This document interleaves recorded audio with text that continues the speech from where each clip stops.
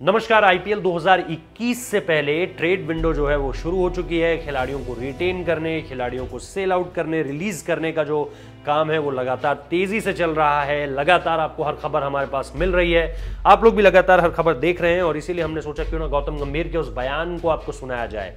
वो बयान जिसमें वो कह रहे हैं कि एक कप्तान जिसने आठ सीज़न से कुछ नहीं जिताया है वो कैसे आईपीएल में उस टीम का कप्तान बना रह सकता है?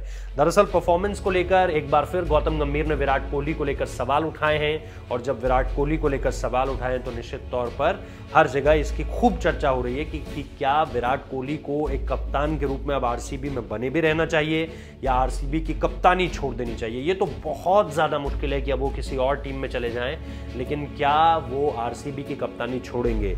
आंकड़े तो यही बताते हैं कि विराट कोहली जो है वो सबसे सफल कप्तानों की अगर बात करें तो उससे कोसों दूर है अभी।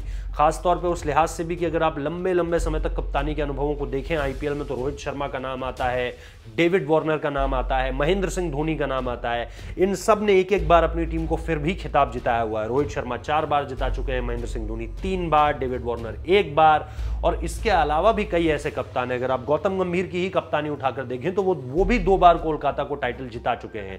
ऐसे में एक विराट कोहली ही वो नाम है, जो निश्चित तौर पर लंबी कप्तानी कर चुके हैं, लेकिन उनकी कप्तानी में टीम की जो जीत का, ट्रॉफी जीत का सूखा है, वो खत्म हो नहीं पाया है। और इसीलिए ये सवाल उठ रहे हैं। लेकिन गौतम गंभीर को सिर्फ़ कप्तानी के लिहाज से इस चीज़ को नहीं देखना चाहिए, बल्कि मार्केट के लिहाज से भी देखना चाहिए। अगर बैंगलोर विराट कोहली को कप्तानी से हटा देता है तो फिर ब्रांड्स बैंगलोर के साथ नहीं जुड़ेंगे।